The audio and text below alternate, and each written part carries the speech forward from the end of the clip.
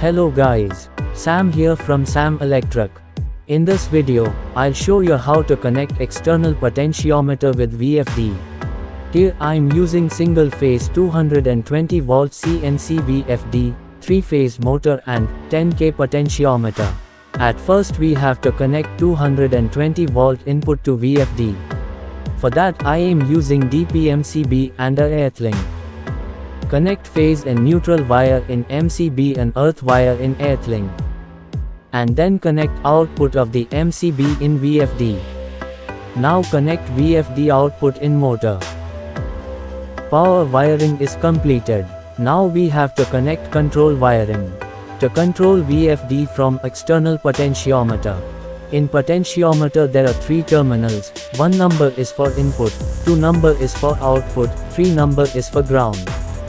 In VFD control terminal, there is a 10 volt terminal. Connect a wire from that terminal to one number terminal of potentiometer. After that, connect a wire from AI1 terminal in VFD control terminal and connect it to 2 number terminal of potentiometer. Now connect a wire from GND terminal of VFD control terminal and connect it to 3 number terminal of potentiometer. Control wiring is completed. Now it's time to set parameters in VFD to control from external potentiometer. Let's see how to set parameters in VFD. At first, press program switch in VFD and then, go to P, 0, 0, 2 and select 1. Then click enter.